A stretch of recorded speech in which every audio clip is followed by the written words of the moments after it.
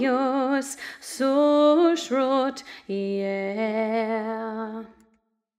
One happy birthday dot com.